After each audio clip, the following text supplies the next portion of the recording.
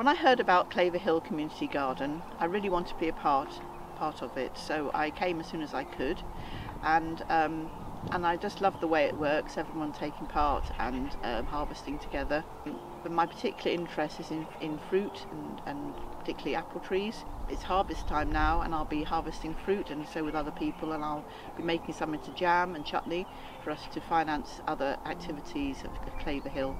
I just really like being here. It's just a fantastic feeling working together with other people and keeping this lovely space. Um, the apple trees we have are still quite small, but there is over 30 heritage varieties and they will become a resource for everybody to enjoy in the future. And we also, not just here, we are part of the community and we, we offer apple pressing for anybody who's got lots of apples and they can make uh, apple juice or cider.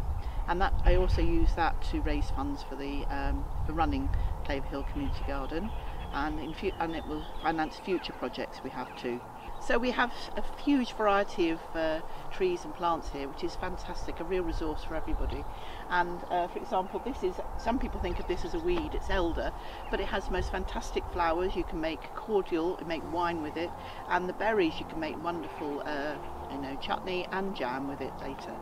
Uh, but Claver is a fantastic resource for everybody. It's like an oasis in the middle, which will become, it will all be built up because of the pressure of population. So people can come here like a, like a lungs for the area. It is fantastic and it's such a wonderful sense of community working here.